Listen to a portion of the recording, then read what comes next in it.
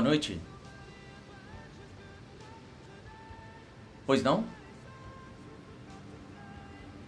O senhor deseja um quarto? Apartamento 904. Ah, sim. O senhor já está hospedado aqui?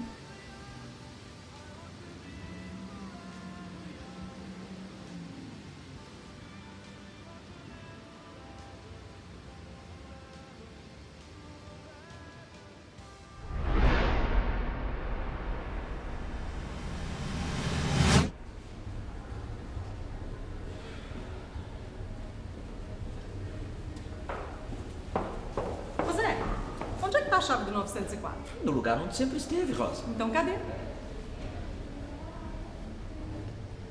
Ué, mas estava aqui, Rosa. Sei. Sério, é verdade. Tava aqui desde ontem à noite, quando um gringo passou aqui na recepção e disse que. Ah, um gringo.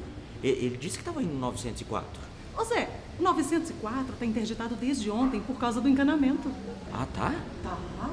E assim que o Ismael chegar, ele vai providenciar tudo que é preciso pro concerto. Sério? Ô Zé, Ô, Rosa, olha só. é, é, Tem muitos quartos com problema. Por que, que vocês não deixaram então uma informação aqui dizendo que o quarto estava interditado? mas aí você entregou a chave ao gringo. Não. Ele só passou aqui, disse que tô indo ao 904. Só isso. Só isso. Mas então cadê a chave? Eu já disse que eu não sei, Rosa. Olha, Zé, as chaves estão sob a sua responsabilidade. Rosa, olha só, bate lá no quarto. É, não sei, ele não veio aqui reclamar. Vai ver que ele nem gosta de água.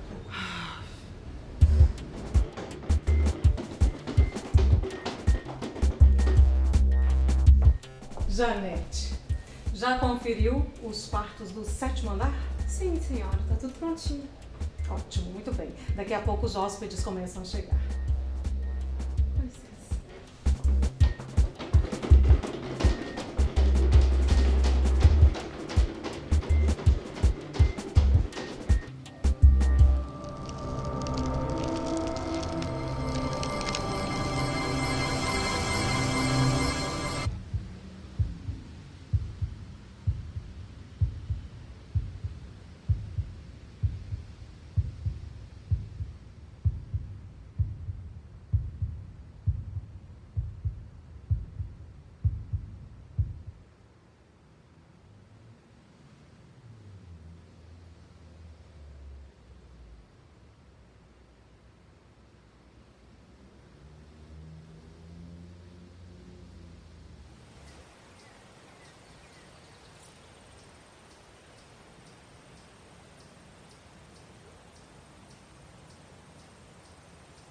Eu entendo perfeitamente as suas necessidades, Sr. Henrique. Afinal, são 1.200 metros que precisam ser mais bem explorados. A expansão dos quartos, por exemplo, é uma parte muito importante. Pense no acesso ao lago e à cascata. Os hóspedes nem sequer conhecem a parte de trás do hotel. E a sua piscina, com todo respeito, Sr. Henrique, precisa ser aumentada. Hum. O senhor se lembra do Tomás da Estância do Sol lá em Porto Seguro? Eu disse para ele tem que modernizar, mas parece que o homem parou no tempo e deu no que deu. O perfil dos hóspedes tem mudado muito. Conforto. Conforto é a palavra, senhor Henrique. Os anos 90 vêm aí, o mundo está se transformando e eu lhe garanto que o custo com a obra será bastante viável. Veja aqui, as despesas de terraplanagem não passarão de alguns poucos milhões de cruzados. Com licença.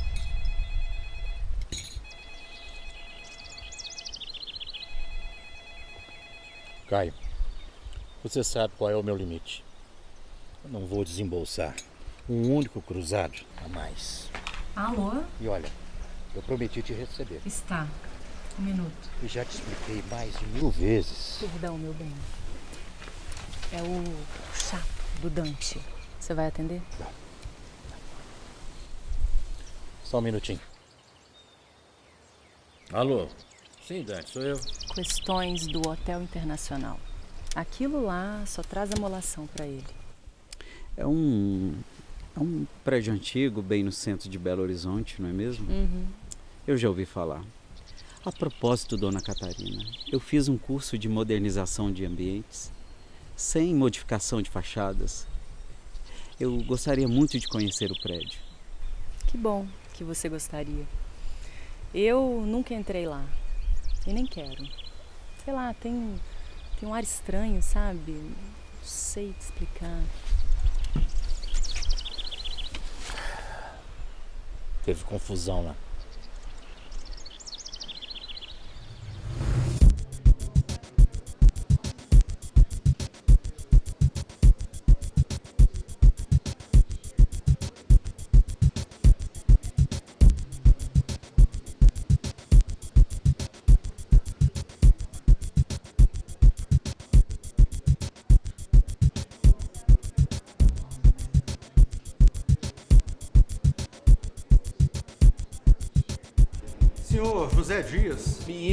Isso, mesmo. Então, senhor José, quer dizer que o hóspede simplesmente desapareceu. Sim. É, quer dizer, ele passou aqui pela recepção e. é, não, não ele, ele parou, né? Ele ficou aqui, ó, paradão, né? E ele tinha assim uma voz grave, sabe? Mas é, é, baixinha. É, parecia gringo. Isso, é, era de gringo. Certo. E? E, e nada, ele só disse que estava indo no 904. E não pediu a chave. Não. Senhor José, o senhor poderia me descrever esse elemento? Talvez alguma característica física, um detalhe da roupa, qualquer coisa. Bem, é, ele, tá, ele tava usando um, um, um terno, sabe? É, como, como daquela foto ali, ó. Esse homem estava sozinho ou havia mais alguém com ele? Não tinha ninguém com ele, não, senhor.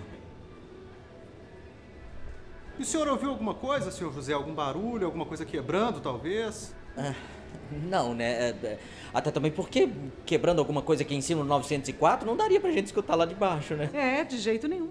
Não, lá de baixo não daria. Mas desse andar daria, senhor José. Então eu te pergunto, teve algum hóspede que ligou fazendo alguma reclamação, alguma queixa de barulho, senhor José? Não, ninguém reclamou de nada, não, senhor. Ninguém. Quer dizer que o quarto ficou desse jeito e ninguém ouviu nada. Não, não escutou nada. Senhor José, o senhor tem certeza de que o senhor nunca viu esse homem antes? Senhor Ângelo, por favor. Olha, esse hotel já deixou de ser o que era. Há anos só dá prejuízo. O dono, o senhor Henrique, tem vários hotéis para cuidar. Insiste em manter isso aqui apenas por questões sentimentais. Ele cresceu aqui dentro. O pai dele. O tal húngaro. Sim. Tem coisas aqui dentro que nem o senhor Henrique sabe. Alguns hóspedes sequer podem ser identificados. Deu para o senhor entender? O senhor está me dizendo que isso aqui virou um motel de luxo. É isso? De forma alguma, senhor inspetor. É gente da alta que nos procura no meio da noite. São autoridades, se é que o senhor me entende. Alguns vêm acompanhados, outros reservam um quarto por vários dias. Como as despesas fixas do hotel são muito elevadas, a gente precisa ser mais flexível com certos hóspedes. Eles pagam pelo sigilo. É, isso não é bom. Onde eu acho o proprietário? Ai, eu imploro, senhor inspetor, não vamos aborrecer o senhor Henrique, pelo menos por enquanto. Tudo há de se resolver. Tudo certo com as amostras, chefe. Tudo certo. É. Mas tem algo mais. O quê? Olhem só.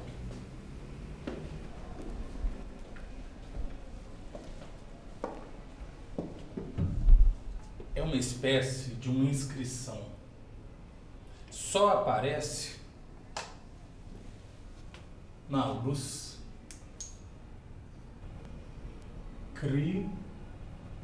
Crisana. Crisana. Crisana. Que diabo é isso? Esse 904 sempre foi gelado. Gelado, né? Gelado. É aqui que ficava a moça e o filho. Maria Rosa, ao trabalho. Você também, José Dias. Estão esperando o quê? Até logo. senhores, que tal um café?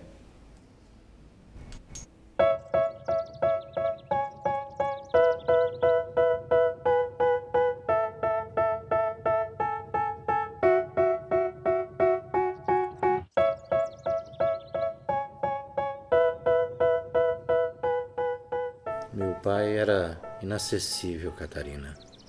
Se conversava sempre. Sua curiosidade eu acho louvável, mas pouco sei. Ele era um homem muito. muito misterioso.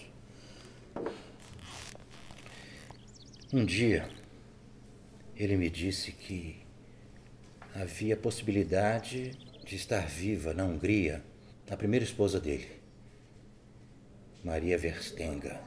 Daí, se ele se casasse com minha mãe, Eunice, poderia ser processado por bigamia. Bigamia? É. Muitos estrangeiros, quando vinham para cá, eram processados. Justamente por esconder o casamento europeu. E você nunca se interessou em saber se isso era verdade? Aos 20 anos, eu já comandava toda a parte contábil do hotel. Aos 25, fui para Santos inaugurar o Espadarte. Como é que eu poderia investigar alguma coisa? E na época, justamente, que eu tinha me casado. Depois só voltei a pisar no, no Hotel Internacional após o meu primeiro divórcio. Fui visitar o velho alguns dias antes de sua morte. Quanto tempo tem isso? Uns 80 anos. E não há fotos de família no álbum? Não, fotos de família nunca vi. Mas essa estalagem foi a primeira dele. Foi na época da guerra húngaro-romena. Eu não sei como, mas ele ele dava abrigo para militares de ambos os lados. Isso não é estranho? Muito estranho. Ele ele me disse que muitos morreram. É, ele tratava deles. Mas o que, ele fazia com os corpos? Isso tudo é muito confuso para mim. Em 1927 veio para São Paulo. Por que, que ele veio para o Brasil? Ele abriu duas pousadas na Moca.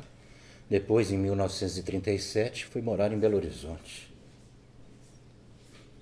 Ele tinha dinheiro bastante para comprar o que quisesse. Ah.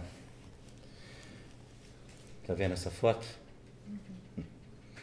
Esse garoto, sabe quem é? Dante Antal.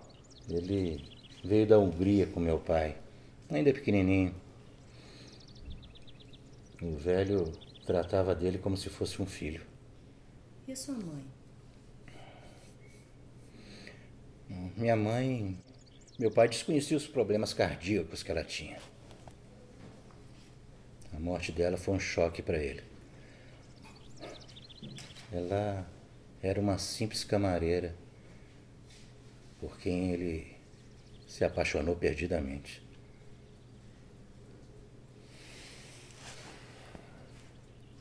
Ainda hoje eu sinto a presença dela. Mas e, e a outra mulher que ele conheceu antes da sua mãe? Ana Paula. Não sei muito sobre ela. Eu só sei que, que ela morreu na porta do hotel atropelada. Gente, mas quanta tragédia. Teve uma vez, meu pai falou que. que era amaldiçoado. Que era assombrado pelos fantasmas do passado. É por isso que eu evito visitar o hotel internacional. Então, por que é que você não vende aquela coisa? E o que, que o Dante queria? Hã? Que confusão que teve por lá? Você não me disse, não se despediu do arquiteto e almoçou calado o tempo inteiro, Henrique. Olha só, o rapaz está tentando fazer o trabalho dele e você o trata com aquele descaso. Se fosse um cliente com menos dinheiro, ele já teria largado esse projeto para lá. Você tem razão, meu bem. Na próxima reunião eu vou pedir desculpas para ele. Querido, eu me preocupo com a sua saúde. E eu acho você duro demais com as pessoas. Isso não te faz bem. Assim, você vai acabar com o seu pai. Por 30 anos ele morou lá. Depois da morte da minha mãe, ele continuou morando ali. Mesmo depois de tanto dinheiro, não quis se mudar. Ah, que loucura. Já agonizando, ele me chamou. Eu me aproximei e ele me disse: guerra, a guerra. Eles virão, eles virão. Essas foram suas últimas palavras antes de morrer. Olha, hoje pelo telefone, o Dante me disse que. Meu querido Rick, eis que o encontro. Edmundo, que surpresa. Eu disse que viria visitá-lo e aqui estou. Como está, meu amigo? É, tudo bem? e essa gata, que não envelhece nunca? Aí, essa meninada, quase não reconheci. Ah, não é possível. Eles estiveram aqui ano passado, Fredinho e Roberta. E a Suzana também veio? Ela está lá em cima desfazendo as malas. Que bom que ela está acostumada a cuidar de tudo sozinha. Meu amigo, é muito cedo para tomarmos um drink? Não. A hora tá boa. Ah, toda hora é hora, eu sabia. Crianças, vão lá para fora brincar. Biblioteca é coisa de velho.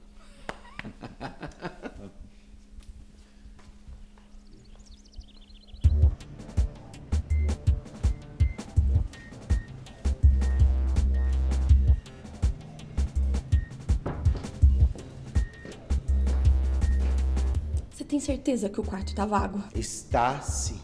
Eu ouvi barulhos. Eu juro que ouvi barulhos. Cadê o Dante? Eu quero fazer uma reclamação com ele. Ele ainda não chegou, senhora. Os horários dele são um pouco incertos, mas eu lhe afirmo que não há hóspedes no quarto de cima. A senhora quer vir comigo para averiguar? Muito obrigada, eu tenho muito mais o que fazer. Só gostaria que esse barulho parasse em cima da minha cabeça. Eu preciso de sossego, entendeu? De sossego. Está bem, senhora. Eu peço-lhe desculpas. Pois até logo.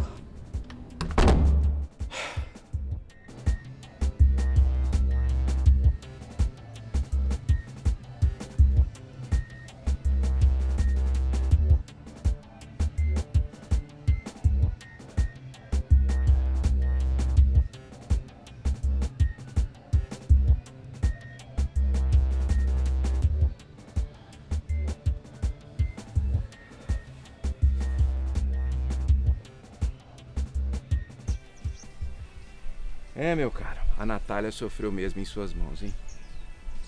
Eu não diria isso. E não me arrependo de nada.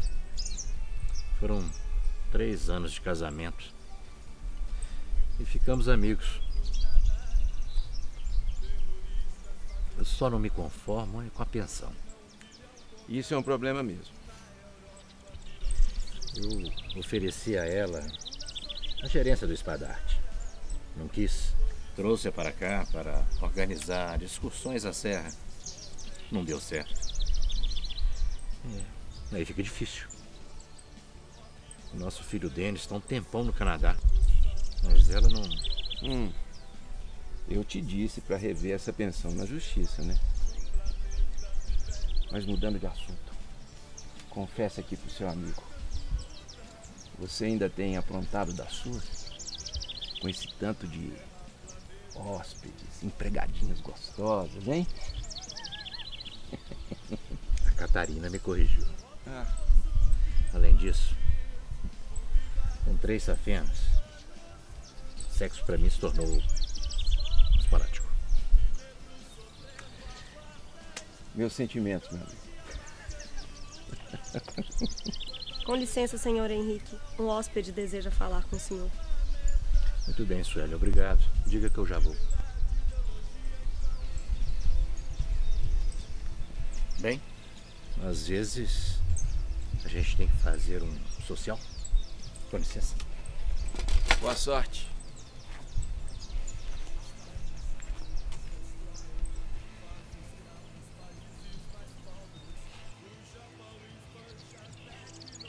Ai, amiga, eu acho que eu não daria conta de cuidar de pousada, não. Imagina, deve ser reclamação o dia inteirinho. Nada, nada. E eu nem percebo, sabia? Porque também no curso de hotelaria nós somos instruídos a lidar com insatisfação, com maus fornecedores, problemas com a comida. Então se vê, né, por que que o homem escolheu você. Dedicada, experiente. Você deve agradar bastante ele, né? Eu faço o que eu posso para cumprir o meu papel.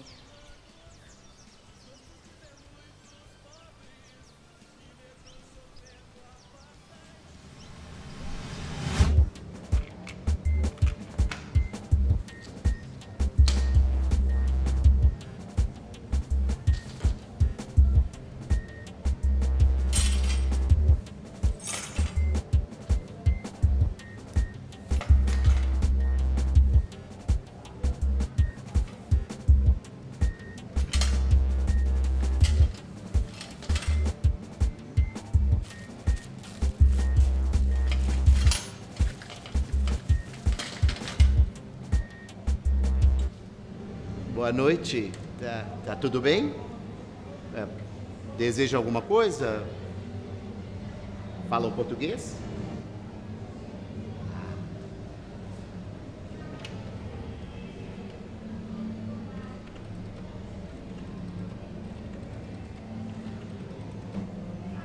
Oi. Oi, Maria Rosa? Sim, sim, sou eu, Ismael. É. Ah, Você pode vir aqui? É, é um instantinho só, Maria Rosa, por favor. É que é, tem uns jovenzinhos aqui na recepção. Eu acho que não falam português. Porque não responderam, né, Maria Rosa? Tá. Tá, tá legal. Tô, tô te esperando.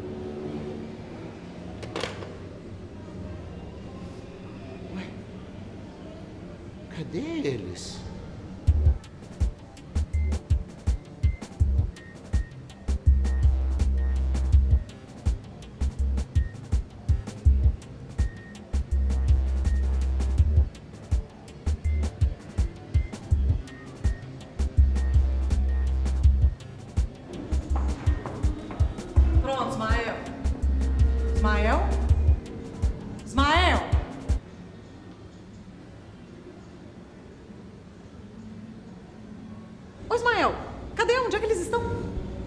Sumiram. Ah, Eu não acredito. Você me fez sair de lá de cima à toa. E eu tenho culpa, Rosa. Tá, tá. Olha, o Dante pediu pra você dar uma olhadinha no nono andar. O andar inteiro tá sem luz. Ai, mas esse nono andar também. Que coisa. O Zé Dias bem que podia estar aqui hoje, né? Ah, que pena. Hoje é a folga dele. Olha, vê se quando for lá, bota uma pessoa aqui na portaria no seu lugar. Tá? Não deixa sozinho, não. E não demora. Sim, senhora. Chefona.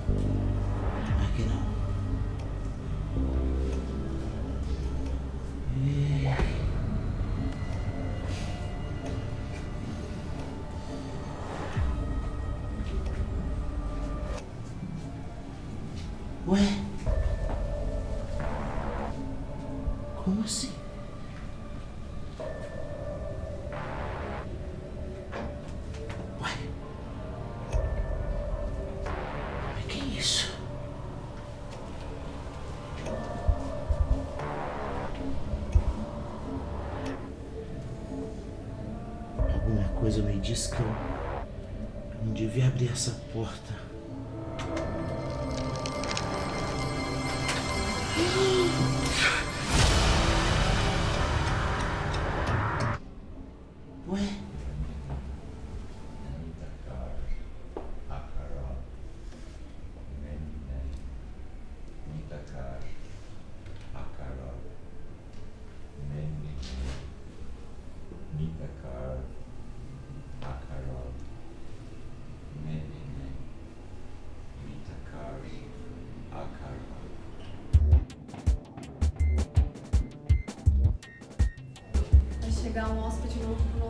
901. Deus me livre, eu é que não volto mais naquele nono andar.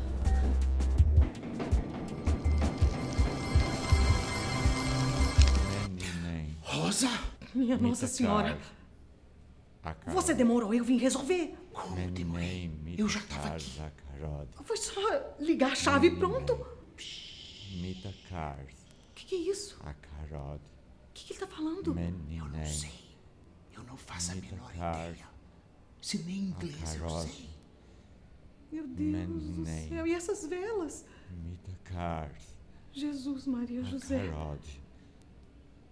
Meninei Mita Cars. A Carod.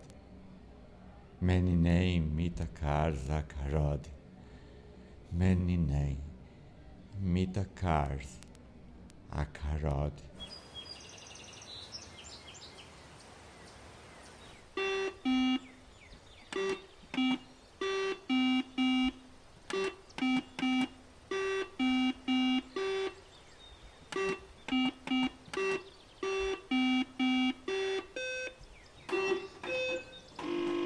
Ah, sua anta!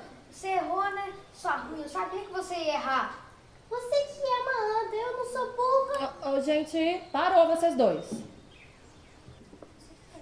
Você. Ó, ó, criança, bora lá, vem lá fora, vai.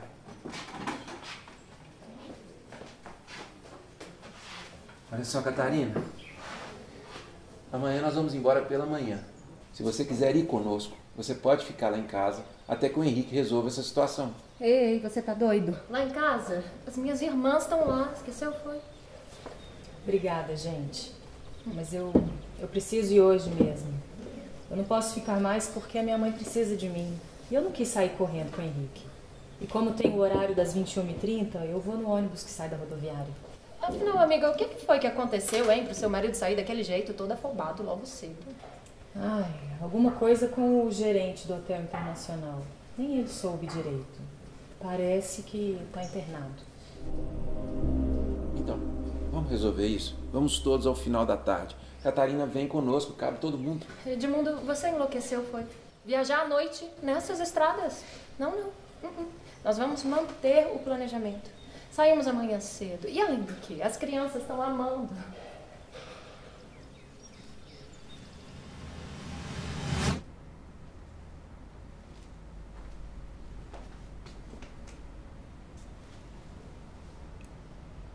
Continua do mesmo jeito? Instável. Tudo bem, seu Henrique. Olha, pra ser bem sincero, a gente ainda não sabe o que que cometeu. Ontem ele deu entrada e teve uma crise. A gente precisou sedá-lo e desde que ele acordou ele tá assim. Falando umas palavras incompreensíveis, sabe? Isaia. Isaia. Viu só? Isaia. O senhor tem alguma noção do que ele tá tentando dizer? Tenho sim, doutor. É um dialeto antigo, Majar. Como assim? Húngaro. Ah, é claro. É fascinante. Isaia. Isaia. Ele voltou. Izazin Hayam. Este é o meu lugar. Izmeni Sheknek. Eu não devo. Izmeni Sheknek. O que ele tá dizendo tá. Doutor, eu preciso ficar a sós com ele. Desculpa, mas não é aconselhável, tá? Ele, veio- ele teve uma crise ontem. Por favor, doutor. Posso te dar 10 minutos. Só que se ele tiver uma crise de novo, eu vou ter que voltar e sedá-lo. Tá bom.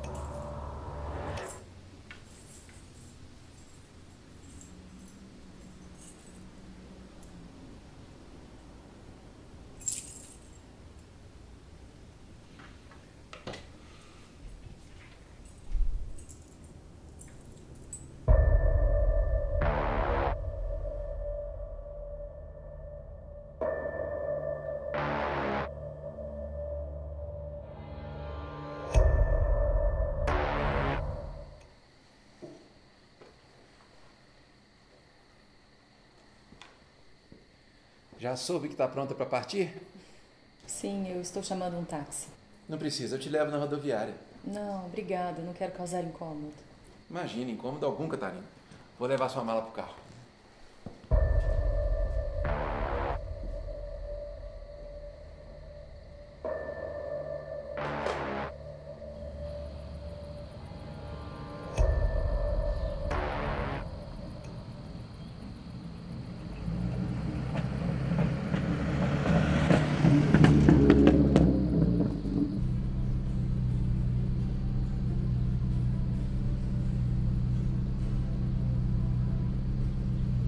Catarina, daqui na rodoviária são 10 minutos, é um pulo.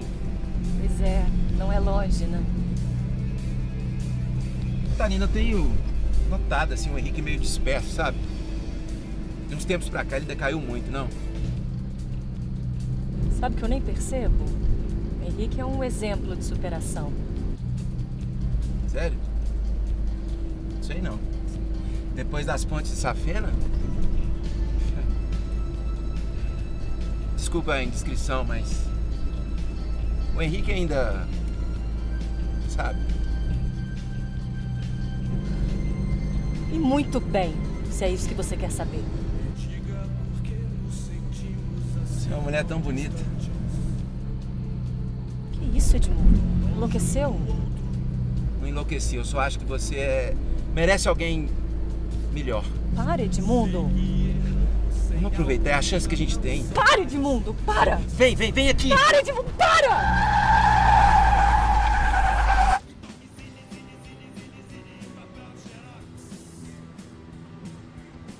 Boa noite, senhora. Que posso servi-lo?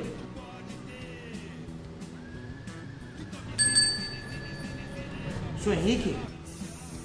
Boa noite. Boa noite. E o senhor é o. É, José Dias. Eu trabalho aqui já faz três anos. E o senhor gosta de trabalhar aqui, José Dias? Gosto muito. Bom trabalho. Obrigado. O senhor Henrique, é uma honra conhecê-lo pessoalmente, viu?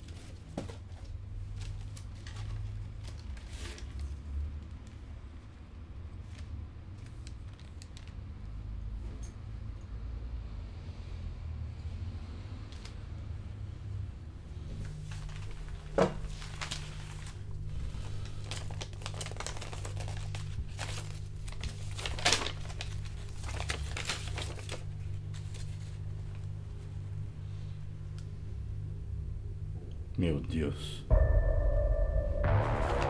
Eu não acredito.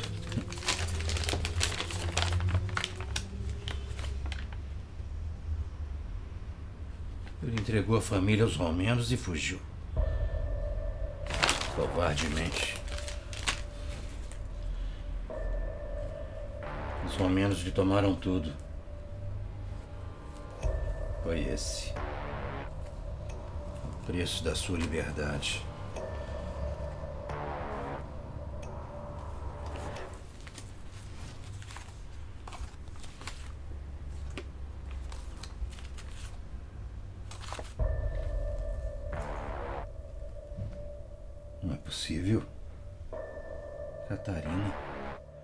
São idênticas. Catarina e Maria Vestenga.